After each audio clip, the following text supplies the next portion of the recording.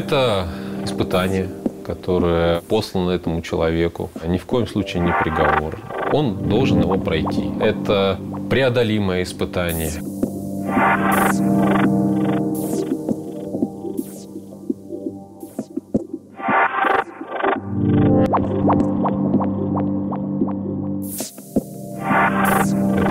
Родители меня всячески отговаривали, говорили, ты же видишь, что это за жизнь, как это все не просто дается. Я даже слышать не хотел. Я буду поступать вот именно на лечфак в Казанский медицинский университет, где учились мои родители, где учился мой дед.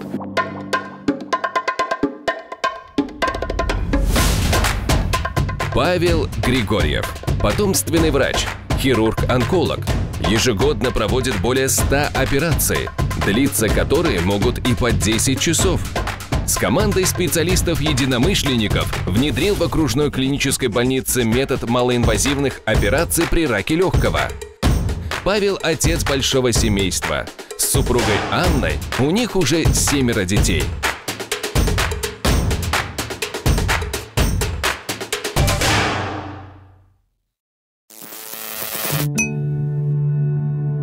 У э, всего есть э, свои, так скажем, параметры применения. Вот мы любой прибор можем взять, там холодильник, там у него есть инструкции по применению, там нельзя там около открытого огня. Вот человек, он тоже очень тонко устроен, и не надо вот около открытого огня быть. Тоже есть определенная инструкция по применению э, нашего тела, что называется, нашего здоровья.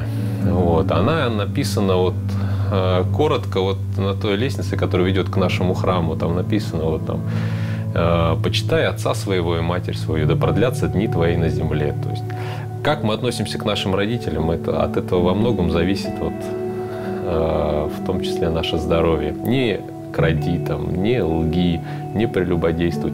Это вот те маячки, которые вот на нашем жизненном пути, если мы их видим и за них не заступаем, то а, как правило, с нашим организмом ничего не происходит. С нашей жизнью и в том числе с нашим организмом ничего э, страшного не происходит. И вот со своими пациентами я э, не так часто, но когда удается, об этом беседую. И вот мы находим те, может быть, э, изъяны, которые вот они вот э, прошли в своей жизни, и вот это привело э, к нашему заболеванию.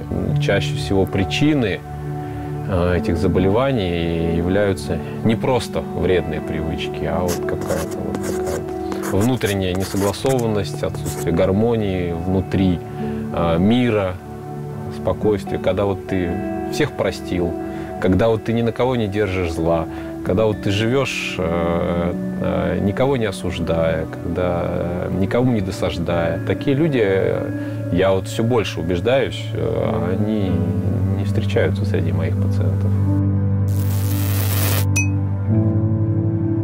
А, сложность вся в том, чтобы а, болезнь была распознана на максимально начальном этапе. Почему много говорится о там, диспансеризации, о ранней диагностике, о профилактических осмотрах. Мы очень благодарны всем этим врачам, кто занимается подобного рода деятельностью, потому что они Э, выявляют болезни нашей специальности на ранних стадиях и позволяют нам пролечить этих больных э, малоинвазивным путем. Как наши учителя говорили, что победу э, в борьбе с раком выигрывает врач, который выявил эту патологию. Главное, чтобы вовремя к нам попал этот пациент. Вот. А дальше уже э, это наша работа. Мы ездим, учимся для этого. Не только в России, ведущие российские клиники бывали и за границей. И перенимаем оттуда опыт.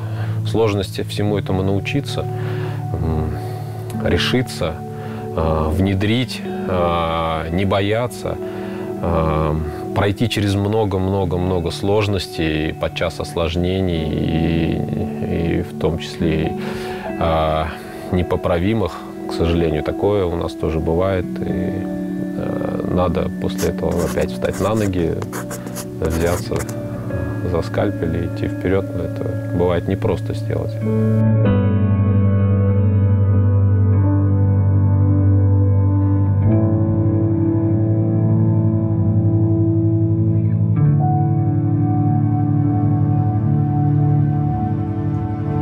Работа командой. Сейчас э, в медицине это вот очень важно, чтобы каждый, э, кто принимает участие в процессе, работал с огромной самоотдачей, с огромным вложением собственных сил, средств, там, вот, э, отдавался без остатку. От каждого винтика, вот, мельчайшей детали зависит успех в лечении.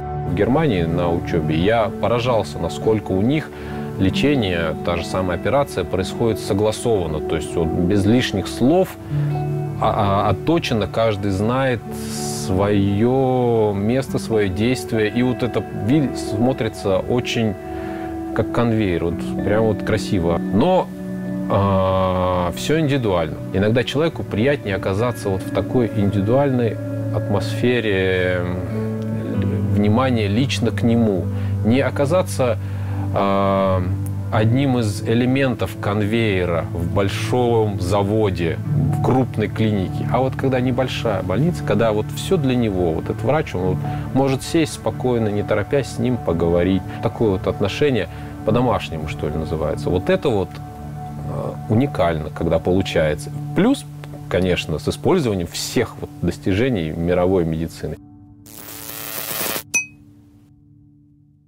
Торакоскопические операции – это операции на органы грудной клетки при использовании э, видеотехнологий, то есть э, с использованием эндоскопов, видеокамеры, э, манипуляторов, которые можем ввести в полость через небольшие отверстия, через проколы, чтобы меньше травмировать самого пациента, меньше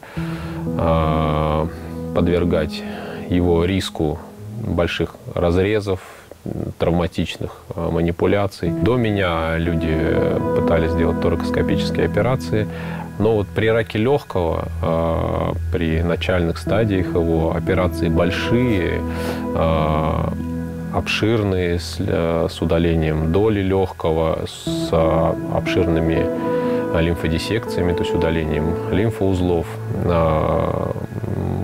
мы начали, мы своей командой начали делать первыми, одними из первых в округе. А, проблема курения – это не только проблема рака легкого, это в том числе и проблема сердца, атеросклероз, э, нарушение э, ритма сердца и, в частности, угроза инфаркта миокарда. И мы когда видим, что у пациента есть вот это вот прединфарктное состояние, вот, и одновременно э, рак легкого путем операции аортокоронарного шунтирования, она вот такая очень известная, эффективная операция вот при вот, э, заболевании сосудов сердца, вот. Мы ее э, совместно с Сергеем Андреевичем проводим. Он, как правило, начинает свой этап первым, чтобы тут же мы были спокойны за сердца нашего пациента. И потом уже мы приступаем к своему этапу по поводу рака легкого. В современной медицине сейчас один человек, вот, э, как бы он ни был велик, он сам своими руками не может сделать всего и, и, и сделать что-то значимое. Нужна, ну, нужны помощники, нужна команда. И вот когда вот мы так встречаемся, вот,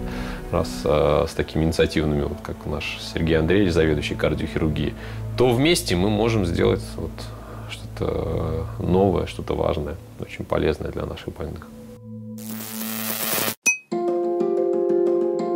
Надо э, иметь внутри чашу любви, наполненную, и ей делиться с каждым. С каждым, кто вот к тебе приходит за помощью. Если ты с любовью э, пытаешься окружить его заботой, выслушать, понять, э, просто поговорить иногда. Не обязательно сделать ему операцию. А иногда нужно просто вот э, вникнуть в его проблему. И э, тогда вот лечение получается и вообще помощь получается вот прям вот э, максимально полной. Конечно, моя чаша наполняется вот, э, она наполняется от э, Господа нашего Иисуса Христа. Я как-то вот, вот вхожу я в наш э, храм, и вот от причастия вот это вот исходит вот, та сила, которая может помочь мне в лечении моих пациентов.